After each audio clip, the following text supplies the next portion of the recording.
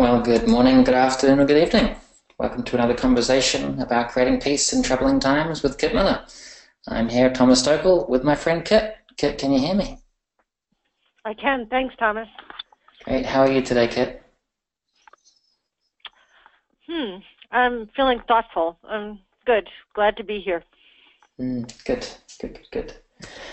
Well, we will start off um, with some gratitude as Wait. always. How are you doing? Me? Oh, I'm doing wonderfully well.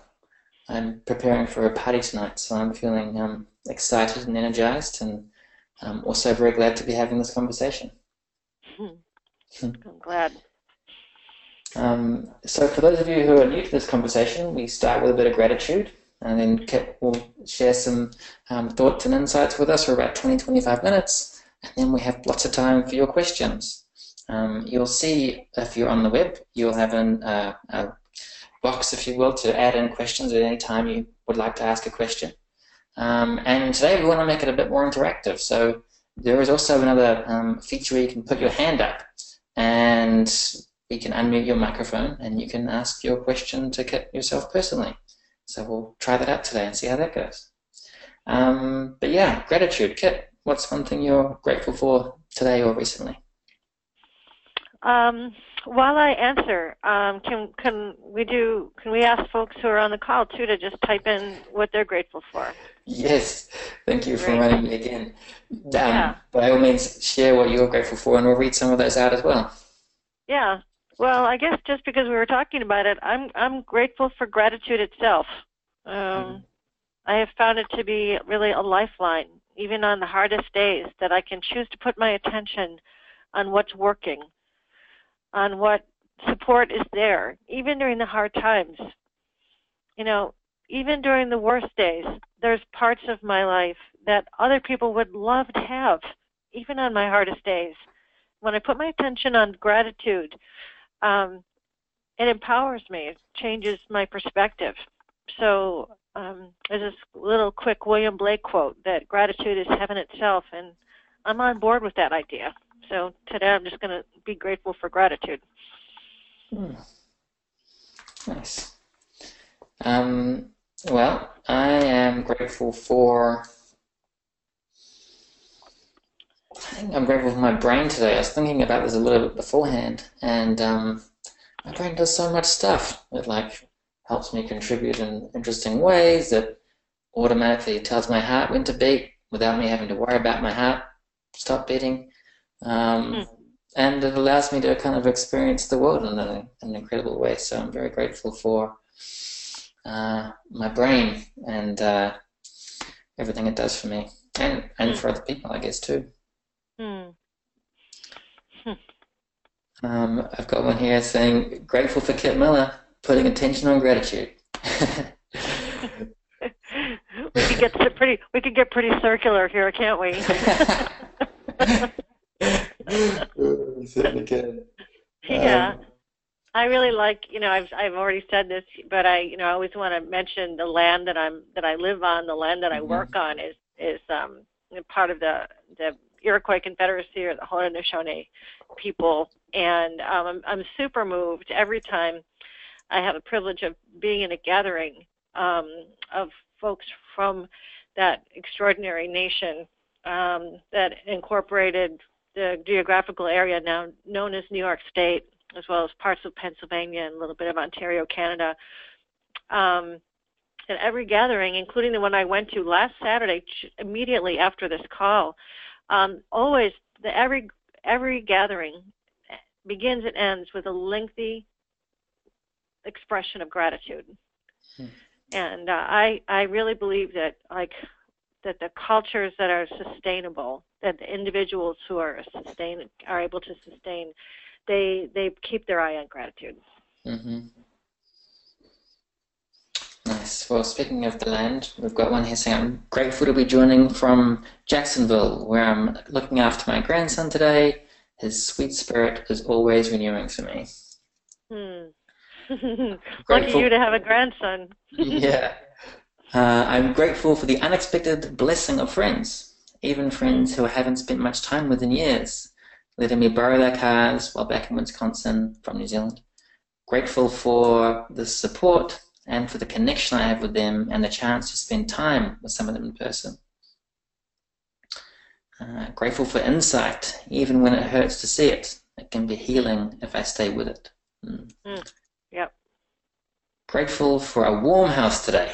yeah. I hear that. Great. Well, um, Kit, what would you like to share with us today? Hmm. Well, I, I want to speak a little bit about um, uh, creating a lived practice of nonviolence, and I was I mentioned it I think a little bit last week, but um, um, my attention was drawn to it again today. I don't know about all of you guys, but boy, my inbox, or at least, one of my emails that where I get a lot of sort of the the requests for support from groups doing many many different kinds of of activism, um, environmental, human rights, um, you know, really the whole gamut of activism. There's just uh, an incredible amount of um, freaking out emails coming through in my inbox right now. You know, people freaking out about so many, so many things, so many things. Certainly, many things to do with political perspectives and appointees, but also just you know the state of the world and just specific cases and situations of people from someone who's been wrongfully incarcerated to someone who you know was denied medical care. You know just i i i'm, I'm guessing all of you know what i'm talking about. It's just it can be overwhelming. Every sometimes i just read my email and i can hardly believe it. You know if i if i looked if i took my world perspective from that glance and that that particular email where there's so many worthy causes shouting out their urgency and shouting out that kind of the sky is falling. Um, I think I, I I don't know what I would do. I don't know how I could keep going.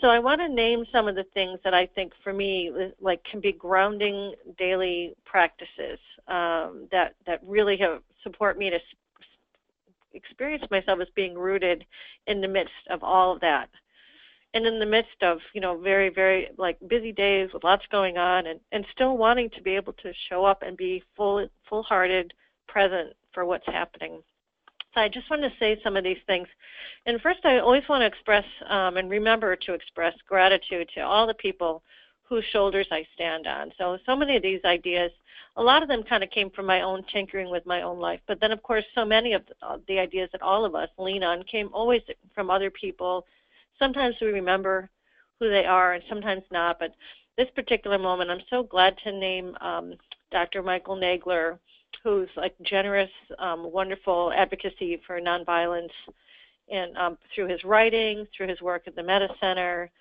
Um, he's just always been such a, a lovely, generous, you know, mentor to me, and I, I suspect hundreds of other people who are interested in this this this field. So years ago, I don't even remember when, some, somewhere with him, uh, we were talking about, uh, you know, well, what do you actually do every day to to change your, your how you're how you're hardwired? Because I, uh, we know we're living in some respects, you know, you know, especially in in our sixth decade, seventh decade now of of really in the grip of of the military industrial complex you know that Eisenhower spoke of so prophetically just in the just after World War II. You know, we we're really living in in in a particular time and cultural frame now where we're so deeply deeply educated into you know holding a perspective um, that makes us you know believe that violence is inevitable and pleasurable and necessary that consumption is one of our jobs um, that individualism is the truth and that we need to look to ourselves to cite all of our problems within ourselves and so many of those things that like for me were just they were just shellacked into my understanding not as ideas or perspectives but as just as reality. And so some of the things that helped me to pull away from those ideas i'm going to list here. Um, so every day I'd, I, I take some time to learn about nonviolence as a kind of a like a daily vitamin to counteract the idea of violence, as I said a minute ago, of, of inevitable, necessary, pleasurable. Today's um, today I, I'm, I'm reading this marvelous book about the, the 1963 Birmingham Children's March. And, um, you know, for those of you who um, aren't familiar with this particular aspect of U.S. history, because if you're like me, it was not even mentioned. But, you know, children as young as nine years old were engaged in political activism and trained in nonviolence way, you know, during in order to be able to engage in the way that they did. And so today, you know, I was reading a story of a of a of a little of a girl, Arnetta Streeter, who is 14 years old, and she's uh, she was getting trained to be one of the protesters, as so many of the children were back in Birmingham then. Um, and she wrote about and she talked about that seeing King and, and him speaking about love your he didn't just say love your neighbor he also said love your enemy. And then she talked about that in 1962 when um, king was speaking in birmingham um, a young man a young white man i'm reading from the book a young white man named roy james jumped onto the stage and attacked him with brass knuckles slugging him in the back and jaw and rather than return the blows or even cover his face, King dropped his hands by his side and looked at his assailant. Other ministers rushed to restrain James, but King stopped them. Don't touch him, he cried. We have to pray for him. King put his arm around the man who had been attacking him. They talked quietly. The man, a member of the American Nazi Party, started crying and admitted that he'd come there to prove that King was not nonviolent. And King chose not even to press charges. There, I've read a very, very, very strikingly similar story of Gandhi um, in his South Africa days. For me, reading a story like that um, is just food for my journey today, and um, and just re and deepening my understanding of how many times in history people have looked squarely into the face of chaotic and challenging times and gotten through it in ways that are triumphant. And we haven't learned about them in schools we haven't learned. So I'm curious. One, I just want to take a minute and see if there's any a couple people that would want to name their favorite places where they've learned about nonviolence because I'd like to learn from you. If you can either type it or say it, but tell me, teach me. Yeah, great. And my people are um, responding to that, Kit. I didn't know that story. It's an incredible story. I mean, that's right. a, a, true demonstration of, of nonviolence. I mean, that's phenomenal. Um, wow. And, and I will say one place I've, um, I'll name two places actually where I've learned about nonviolence. Um, one is through my time um, at Findhorn, and the other through my time uh, with you at the Gandhi Institute and with all your lovely staff. Um, for those of you who don't know, at the Gandhi Institute for Nonviolence in Rochester, Kit has a staff of 20 somethings and some teenagers who teach this work. Um, and oh, yeah, learned so much from my time in Rochester, and it's been such an enriching experience um, as a result. So, um, yeah, it's been pretty amazing. Um, I will say um, two things quickly. Um, one is, once again, hoping people can see where they can put their hand up, and that's that's an option if someone wants to. Um, if you can't see that, maybe type me a message and say, I can't see that, and then I'll know that it's not there, but I'm, I'm assuming it is there. And once again, at any time, if you do have any questions or would like to make any comments, um, you can also um, type those in and, you know speak to me and Kit because we want it to be as interactive as possible. Um, well, no one's no one's come through yet with anything yet, Kit. So maybe they're still typing. So should we move on and we can come back to that? Sure. Yeah. Yeah. So so that's I want to name my first idea is every day spend a little time learning about nonviolence in whatever ways, whatever frame. And thank goodness there's such riches um, mm-hmm. online and, and so many books and you know and, and I, I advise you to read King and Gandhi yourself, read Mandela yourself, read Bacha Khan's words yourself. Read read the source material, mm-hmm. not just what the people have written about the source material. I, that for me, reading them, their words directly, and thank goodness there's a lot out there that both of them were prolific. The second thing is um, I want to recommend is that um, every day take some time to slow down and know yourself through some quiet time or prayer, yoga or meditation. Um, just and and I, I imagine there's many of you who are already striving to do this many days or most days. Um, and I, I just want to I, I want to affirm and thank you for that um, for that effort and and ask you to to re- realize how how important it is to do that. That very much relates to something I talked about on the first week. That project think before reacting notion. The that just that how much freedom in the world is in that space between our stimulus and our response. And if we don't give ourselves the time to develop the muscles, um, the spiritual muscles, the spiritual practice. It's a practice because we're practicing non reactivity. We're practicing reflection. We're practicing openness. Um, and one of my ways that I'm doing it right now, because I like to change things up, is um, like right now, my morning quiet time is including memorizing a Rilke poem. And um, I've just been so deeply into this poem um, in the last days that it's like it almost helps me to examine my conscience right now. Like how how am I living? Am I living in a way that I like? Am I happy with it? Um, this is a particular poem from the book of a monastic life. Um, and if there's time, I'll, I'll share it with you today if that works. But so for me, so spending some time to to be quiet, to know yourself, um, to learn a passage by heart that has deep meaning, yoga, meditation, a critical part of being able to live nonviolence. So my third idea for a live practice of nonviolence, which helps, which comes in part, as I said, from Dr. Michael Nagler, is every day take an action of, of any size. Every day take an action of any size to make the world better listening to people who are distressed and to people whose perspectives differ from you especially counts. But active service of any kind counts. Pay attention to your opportunities to be of service. One thing that I've started doing is I um, I often don't have cash with me, and as I'm running around, I'm I'm running all the time into people who are are begging on the streets here, uh, where I live. Um, and I, I also just, you know, sometimes just giving money doesn't feel like it, it gives the kind of care that I like. So, like, I carry a box of energy bars around with me.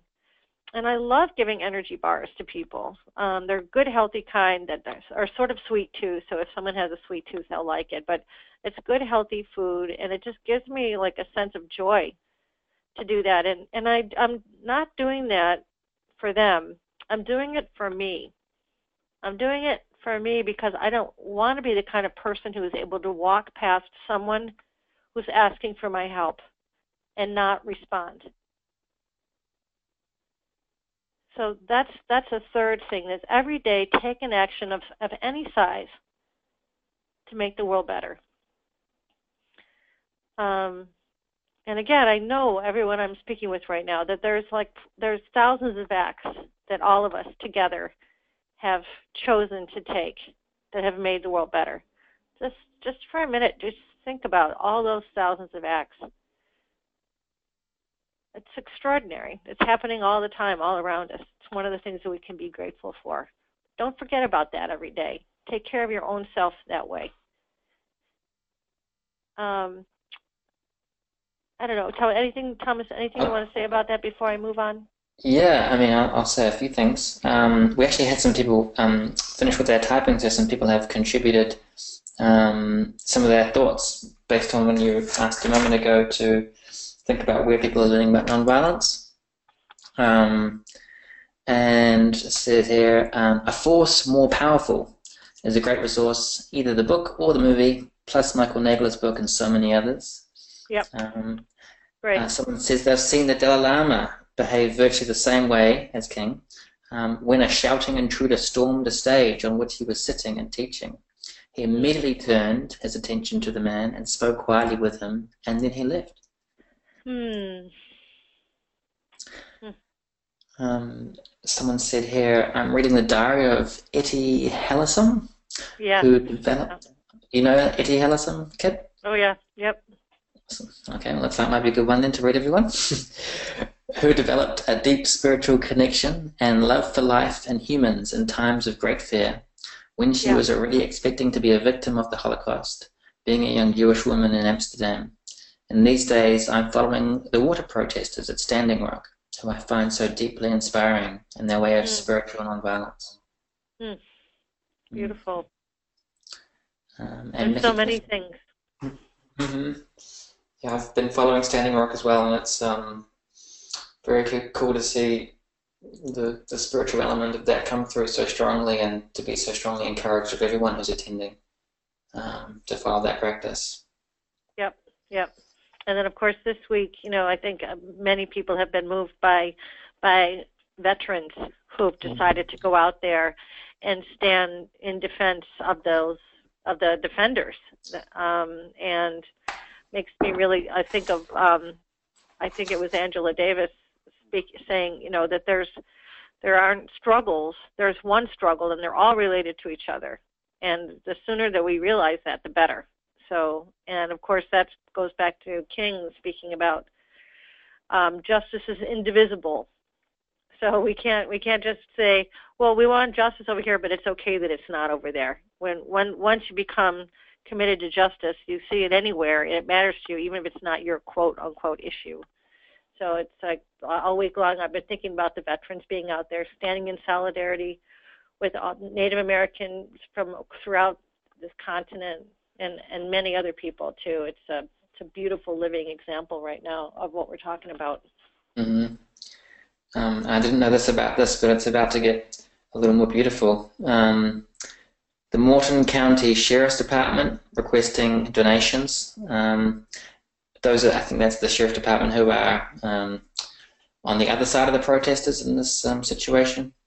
And the Native American water protectors uh, are giving the Sheriff's Department supplies. so, um, Perfect. yeah, I think that's That's the kind of creative, out of the box thinking of that Right. that that nonviolence is all about. That's I think I might have mentioned was uh, already that you know Gandhi spoke when about the British when asked you know about having um, the British in India. He said, "I would love more British people to move to India." But not as our colonizers. They can be our friends. I, we would like many, many people. More people could come from England and Britain to live with us. But uh, so come on over, but not as our colonizers. So that you know, there was this sort of automatic assumption that Gandhi would say, "No, all English, out, you know, all British out, out. You know, we want our country to ourselves." And he just turned that on its head. he said, "Come on over, but not as our colonizers, not as Mhm. our oppressors." Sweet. Yes. Yeah, I mean, just just um, talking about this these creative solutions to nonviolence, Kit. I mean, I know that's uh, so important when we look to counteract such a incredible force that is, you know, war and the mentality that seems now very ingrained in our societies, um, and and of course the military-industrial complex. You know, that kind of creativity um, is what's needed to help break that force. Um, and I've been thinking about and I know you know about the non-violent army of, you know, it's 100,000 Pakistanis, um, Muslims that Khan was leading, and, and you can talk more to that. Um, but I was thinking about this conflict, say, in Ukraine, and how you could creatively get in between those two fighting forces, and um, you know, like what, getting flatbed trucks, putting bands on the back of them, and just having concerts up and down the front. I'm not saying that's a, a good idea or the idea. I'm just thinking about you know creative ways to really get in between conflict and hmm And also connect the humanity of the people. hmm and, and music, food. Um, those are some of the, the things that you know we're hardwired. You know, our brains recognize that as as as community and as as humans. We're it's very hard for us to resist the fact of you know someone offering us food, someone playing music. Yeah. Yeah. So the old parts of our brain can kick in a little bit, and the new parts, the front part of our brain that says, "Nope, I have to obey," can have a little bit of a breather. hmm Yeah.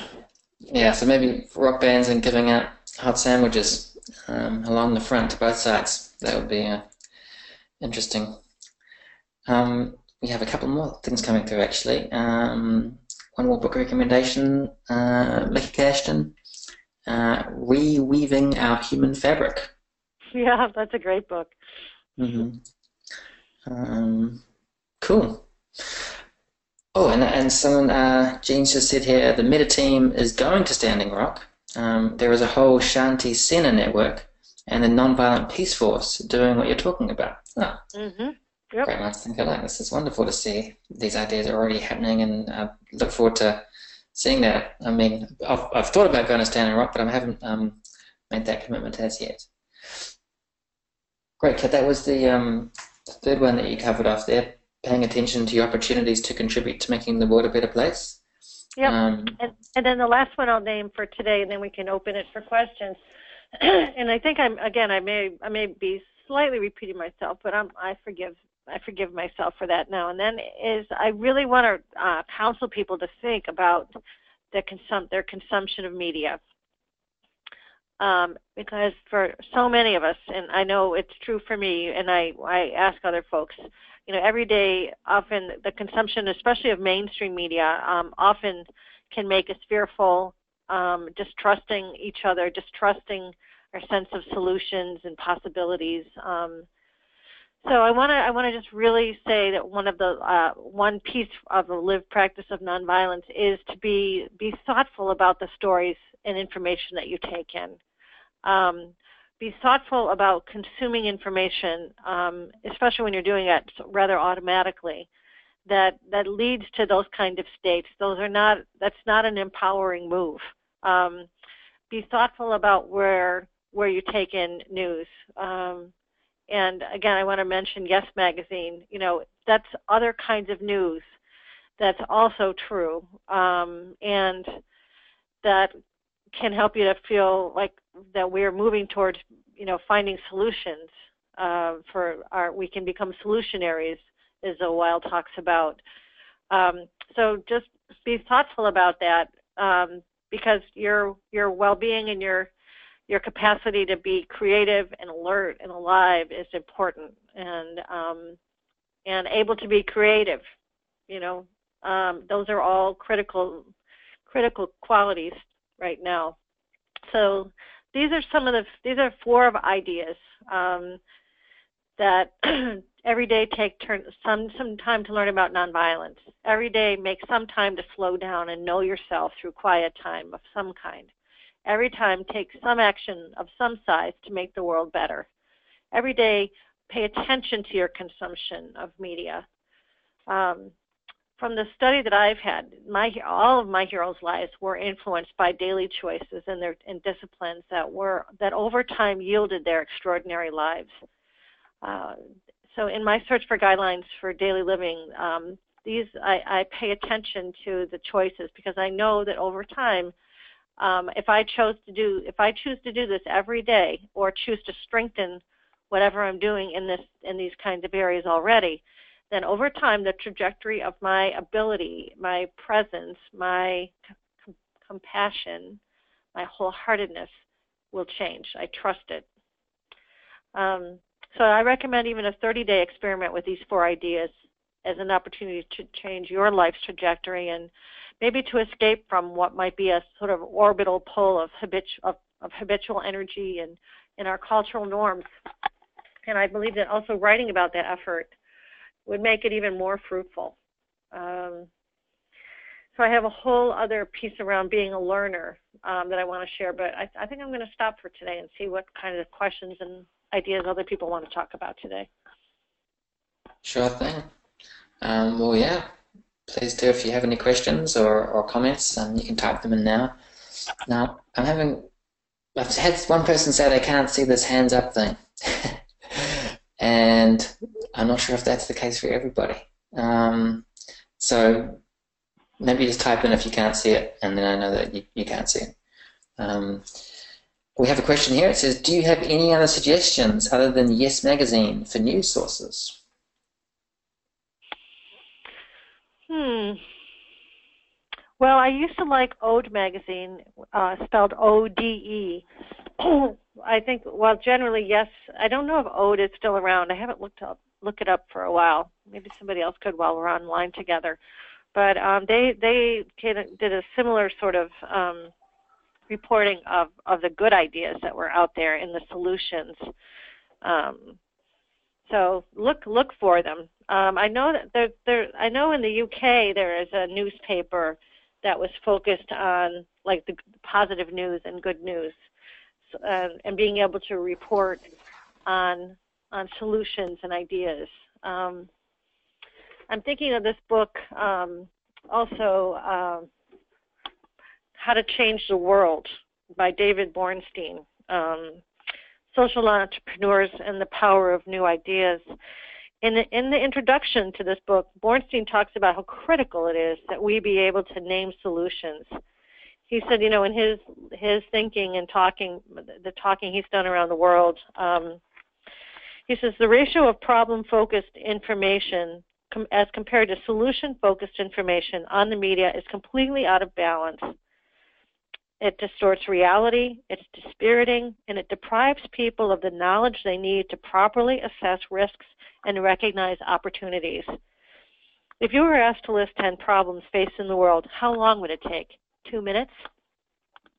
How long would it take for you to list 10 solutions? So since I read Bornstein um, words, that that's really made a lot of sense to me, and I I don't know you know how that if that makes sense to other people, but um, we need we need to we need to rebalance the information that we're taking in, and if there and if it's not being offered to us, maybe we need to go out and find it and broadcast it to other people.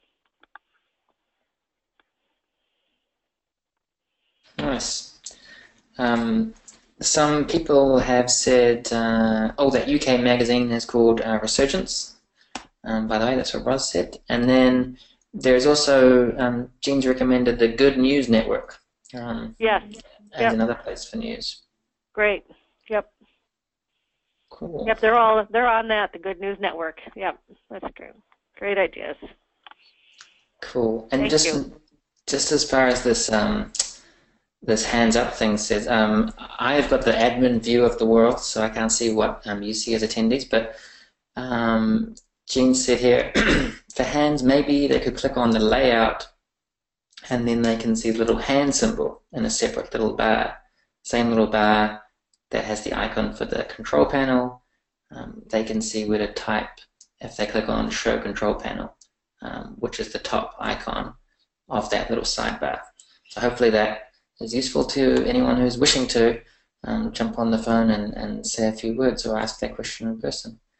Um, cool. So, Kit, I'm interested to know if if you had a sort of a 101 people who are interested in nonviolence, are perhaps new nonviolence, and in particular your first point today about um, you know making a daily practice to learn about nonviolence every day what resources um, and tools would you kind of recommend as the you know the I wouldn't say essential, but a good recommended starting point, or or some good tools for that?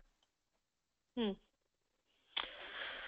Well, we've got a, a staff picks page on the Gandhi Institute website, so that's that's one place to to look. And we're we're refreshing that as people here are always learning different things in relation to social justice and nonviolence. Um, the Metta Center METTA, the Metta Center website is just a treasure house of information. And I think especially there, I've, I've often had new staff here take their online Nonviolence 101 course, um, which is a free learning. Um, they do request a donation, and I hope you'll make a donation to support their good work there. But um, I think that that is a is a terrific. There's a kind of his, history version of it and then a then a more current version of it. Um, I think that the the work, the research work on principled nonviolence, or I'm sorry, on, on the effectiveness of strategic nonviolence, which is really to make use of nonviolence for affecting political change, which was documented um, through the work of Erica Chenoweth and Maria Stevens. Um, in their their research and Erica Chenoweth's uh, work, I think is super important. There's a TED talk which there you can hear um, the reflection of uh, from Erica and, and um, it's a TED Talk by Erica Chenoweth, uh, reflecting on the work that she and Maria Stevens did together. Um, you know, definitively proving that um, strategic nonviolence is actually um, more effective. Um, I think just because we are on the receiving end of so much Islamophobia uh, in the in the states, especially, but I think also in other places, um, I really recommend Eknath Easwaran's book called Nonviolent Soldier of Islam, and that this book um, focuses on the incredibly important story of um, Khan Ghaffar Khan, also known as Badshah Khan, B-A-D-S-H-A-H. Uh, a few minutes ago, Thomas, you made reference to the, a nonviolent army, and uh, this is the story in part of the world's first nonviolent army that was Muslim 100,000 people who took lifetime vows as a result of the of Khan's extraordinary leadership and vision. If we understood more deeply that Islam holds the capacity for this sort of extraordinary commitment to nonviolence, I think it would do the world a lot of good. So there's lots of it. I mean, I'm just sitting here looking at my bookshelf. I could sit here for an hour and tell you things I'd love for you all to read, but those are a few. Mm-hmm. Thank you. Um, one tool I'd actually recommend um, is something that Kit and her team developed, which is the um, Gandhi deck of cards. And it's, um, how many cards are in that deck? Kit, is it 40, 50? Yep. Uh, we got? Like 43, I think. Yep. 43 cards, and they've got a beautiful, um, most likely a black and white picture of an image um, from some period of Gandhi's life, and then on the back of that um, of, this card is a, a sort of short story or message, and I keep that um, deck of cards by my bed, and I, I pull one of those cards, the top one, um, read about something from Gandhi's life, and then put it at the bottom of the deck um, of cards, and it's a really nice way to um, you know start or finish your day um, with a lesson from from Gandhi and on nonviolence. so that's pretty cool. I couldn't recommend that resource more. I mean, I know that Kit and her team spent some time doing that, and they use it in schools and all their webinars around the. Sorry, all their um, workshops and stuff they do, and and they can people can buy those online at the website, right? Yeah, these are those are great. They're easy to buy at our website, and um, yeah, great holiday gift too. Um, uh, and yeah, they explore um, perspectives on Gandhi's life. Um, Khan is mentioned in there, uh, developing nonviolence qualities, and um, much of the copy from it uh, derives from interviews with Arun Gandhi, who founded the institute here and was is a grandson and elder here um, so yeah, that's a really good strategy for breaking breaking down this kind of information into little bite-sized pieces. That was part of why we made it. I'm glad you mentioned the holiday um, reference there for Christmas because uh, you might get a little order from me from a, for a handful of those to give out to some people as a nice gift. That's a really good idea, actually. Hmm. Um, cool. Well, by all means, keep um, firing away questions. I'm going to just look back at the attendees list and see if anyone's got the hand up as yet. Not cool. Um, so, what happens, Kit, when people have you seen in people's lives when they've taken on these practices? You know, maybe some of the newer staff who've come to the institute and when they've started to do these things and um, how it's affected them, or any people who've attended your um, courses. I'm just curious to know, or when you don't do these things and what effect that has on you or on others. Hmm.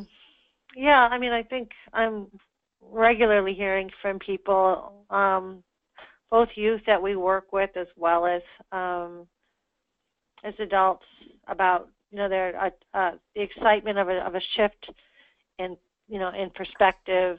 Um, one one guy that actually just went through a, a course here, uh, very hilarious, plain spoken individual.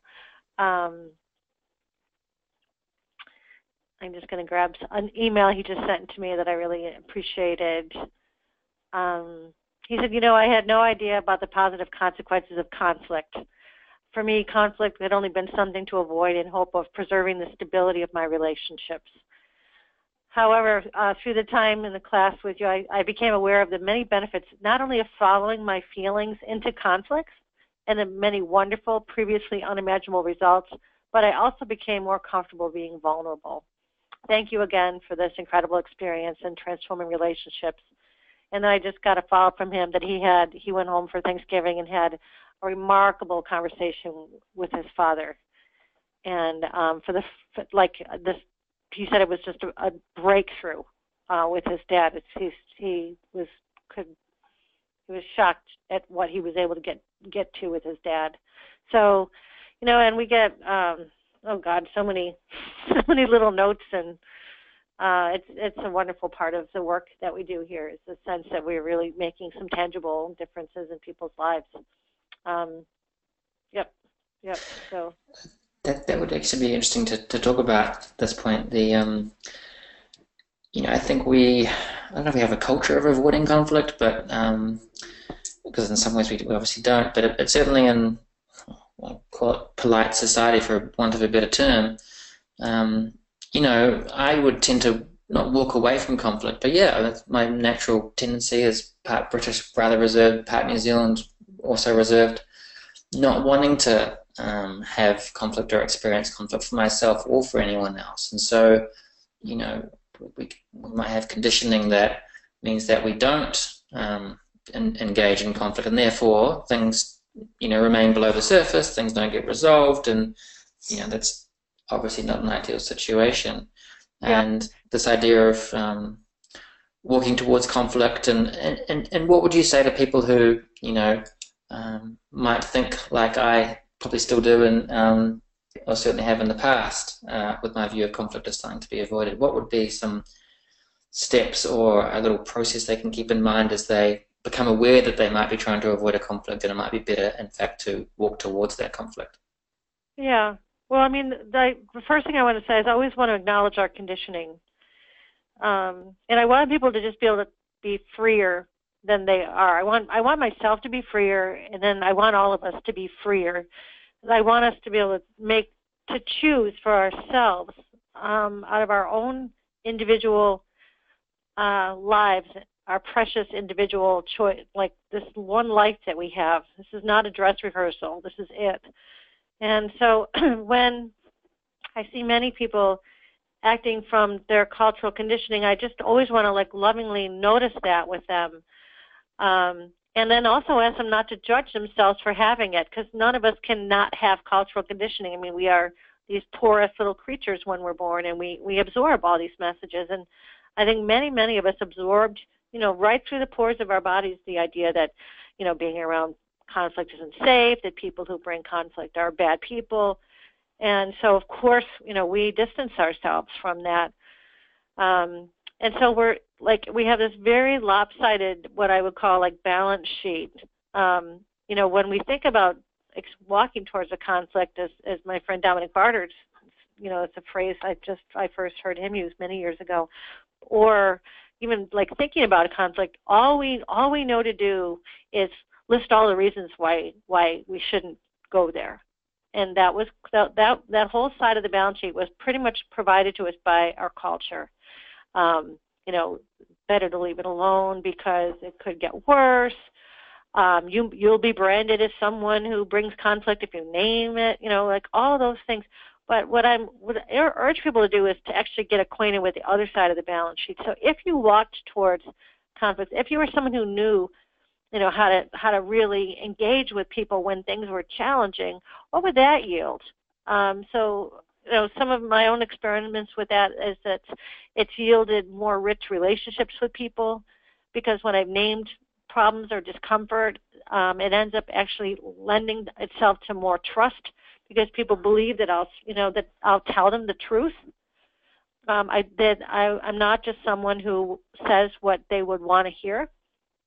So it's it's often led to a lot more trust with people. Um, it's also led internally to a strengthening of my own sense of integrity and wholeheartedness, um, feeling sort of more spiritually aerodynamic, if you will. Um, you know, the whole idea that Gandhi said, "My life is my message." So when we're able to really be in connection to our own truth um, in relation to, to conflict is, and anything else, it just you know it yields a, a more, I think, efficient, effective, creative life. Um, so I want to say um, again, I'm sorry, I do so much teaching and speaking. I sometimes I forget what I've said where, but I really want to. I actually stay away from the word conflict, um, even internally, but especially uh, out loud, because people that's such a culturally loaded word in the circles that I travel in. Not in everybody's circles. I'm just naming my own experience here. So I don't talk about conflict. I, ta- I say I see a pattern emerging. I think that there might be a dilemma here that it would be useful for us to look at so that we can restore our sense of, you know, efficiency and effectiveness and, and joy of being together. So, um, so those are a couple of ideas. Recognize your how deep your conditioning is.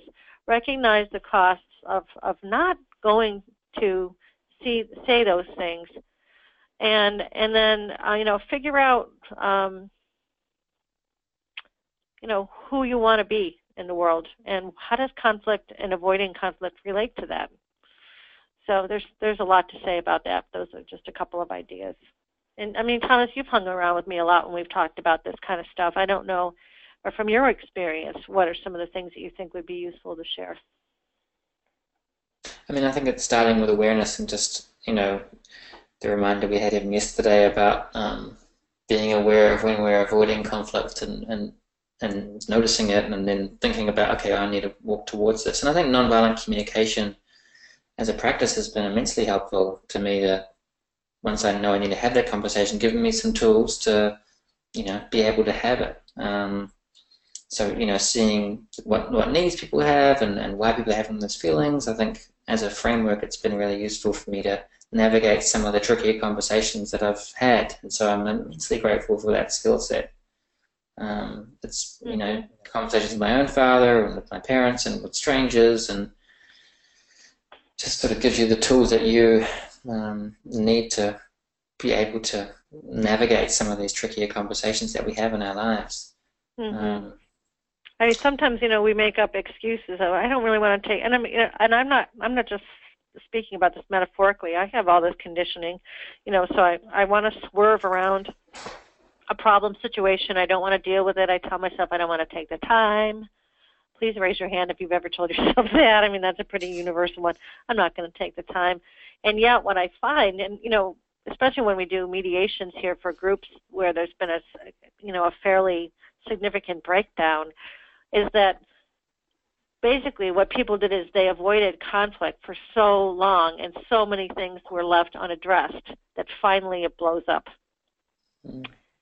and and good work and and sometimes really you know critical resources of of money and time end up getting wasted so i think it's super helpful for people to recognize that if you conflicts deferred don't mean that con- a conflict is resolved. It sometimes just means it's going to come back later, and it's going to be a lot harder to deal with. So I'd say, you know, to try to name things as fast, as early as you can. Um, that's a trust builder. You don't need to have a solution to a conflict before you name it. You can just say, "I'm seeing this as a as an issue. Do you share that perspective with me?" I don't have an idea yet about it, but I just wanted to name it out of care for you and care for me both. Um, so you don't have to wait until you have your perfect solution. It's actually quite honest and creative, I think, sometimes to not wait. Uh, that way you hold the problem together with the other person, not and not think that you're supposed to know all the answers. Maybe this is just me having this conditioning because I'm an oldest child in the family and I always think I'm supposed to show up with all the answers. So we we have a comment here actually. Um, it says, I, I struggle to, sorry, I struggle with trying to bring up conflict without feeling like I'm trying to change someone or something. And I'm not sure if that's a good thing. Hmm. Interesting. I mean, sometimes we are trying to change the circumstances. If if something's not working for us, and we want to make them better, um, I mean, just if like even that we're so quick and I'm not I may be misinterpreting what I just heard, but we're so quick to give up on something if it's if we see it's only important to us. We we forget how interdependent we are with each other. If it's not working for you, then then on a then for me on a on a deeply moral basis, it's not working for the other person, even if they don't necessarily share that belief. So if it's not working for you, it's a good enough reason to say, hey, this isn't working for me. I want to speak about a way to change it. How is that for you to hear? And as you just named, Thomas, you know, like the nonviolent communication practice is pretty stellar, but not non, not nonviolent communication mechanically applied in terms of how you sentence, you structure your sentence, but nonviolent communication applied as a as a framework of listening deeply and, um, for values and also you know holding that you you matter too that um, that everybody matters. Those I mean those are the perspectives that I think nonviolent helps to really foster and strengthen nice um, we have a question here um, from Pat with so many important issues and limited time and resources how can we best determine where to focus when? What's dearest in my heart, critical to the moment, affects the people, the most people, or most likely to realistically affect change? So I guess it's what's dearest to my heart, critical to the moment, and affects most people, or what's most realistically going to affect change? Hmm. I don't know. I, I have such faith in what's dear to our hearts. Um, and there's so much value in being unrealistic. So that's my answer, Pat. that's an awesome answer.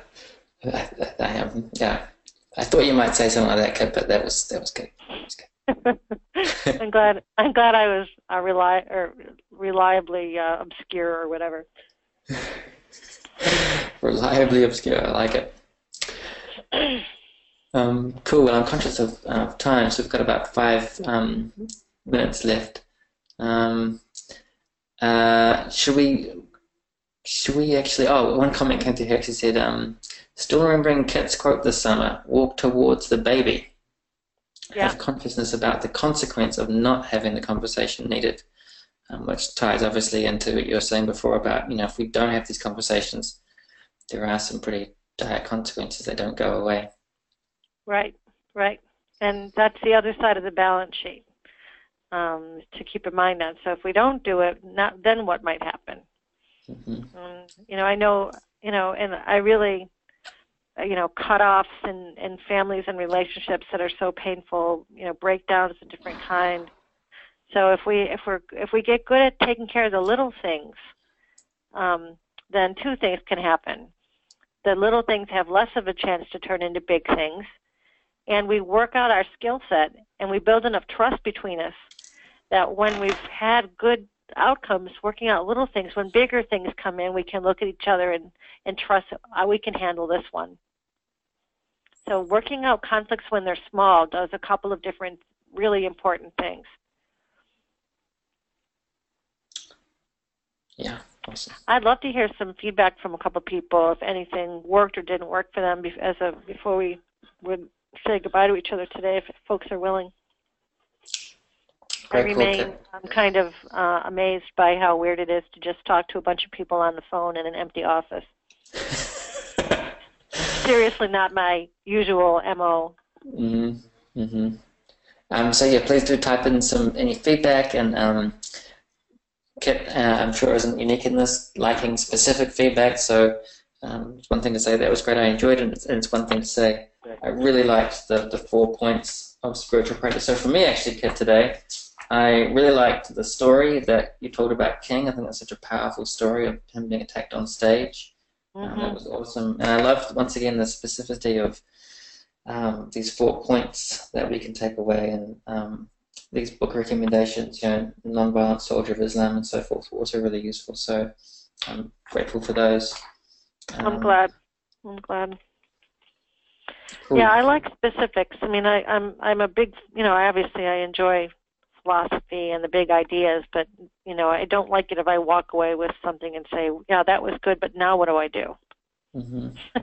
so I don't. I I really have a big wish to not contribute to more of that kind of thing. So I want people to go, oh, I I know what I could do. I could do that, or this a little different, and that makes me happy to think about those specific small steps because everything important starts in my opinion, with with specific small steps. Great. Well, um, Lawrence has typed in, I like the doable specific suggestions. So um, clearly resonating. Um, Kimberly's also typed in something she's grateful for. Um, some feedback here. I do really like the idea of not needing to already have a solution. Um, to stay open to a solution being something that is worked out together and is mutually beneficial. Um, Great. Celebrate that you know that. Mm-hmm. Um, cool. Got a. Uh, really loved getting all the ideas for continuing my nonviolent education.